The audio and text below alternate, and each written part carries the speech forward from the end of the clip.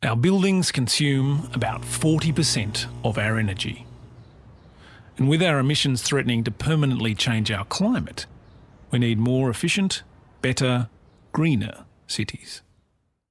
We can start by being smarter with what we have passive solar buildings, public transit, private pedal power, high density living, and teleworking.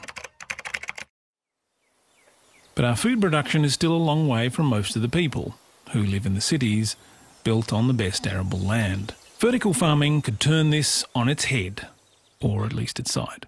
It would bring together a host of emerging technologies by putting food production on the buildings we live and work in to reduce land use, cool our urban heat sinks, and drastically reduce food transport costs.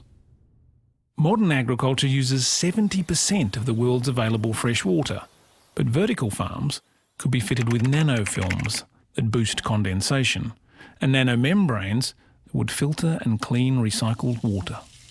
Better water quality, less waste. Crop effectiveness would be boosted by genetic engineering to select the best genetic variants for the environment.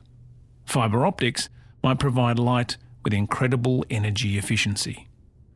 One square block farm, 30 stories high, could yield as much food as 10 square kilometres outdoors. There are, of course, hurdles. The crops best suited to vertical farming may require us to adjust our diets. But would farmers and agribusiness take this lying down? Or is it simply that our dollars are best spent on smart, simple, and practical improvements to existing infrastructure and technology?